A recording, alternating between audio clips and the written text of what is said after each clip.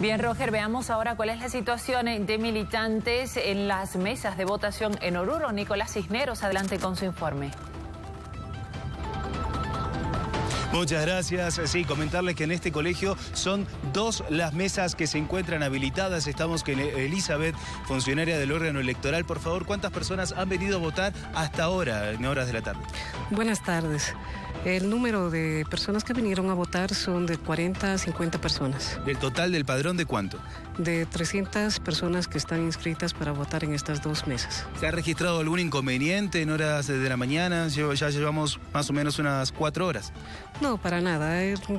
La mesa se aperturaba a las 8 de la mañana como está establecido y hasta el momento sin ninguna novedad. Como usted puede ver, todo está tranquilo, las personas están viniendo a emitir su voto y bueno, no hay ninguna novedad mala que se pueda reportar. Perfecto, muchas gracias. Recordarle que en un informe, un mitad de informe, indicaron de que son 336 las mesas habilitadas aquí en el departamento de Oruro. Volvemos a estudios.